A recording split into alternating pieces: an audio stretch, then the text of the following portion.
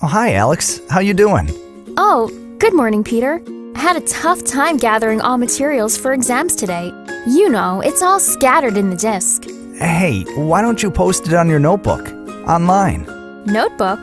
Online? Yeah, wing20.com. The Academic Social Network offers you a notebook online to store all your academic needs. And that too, you can comment, share, and network to study synergically with all your friends globally.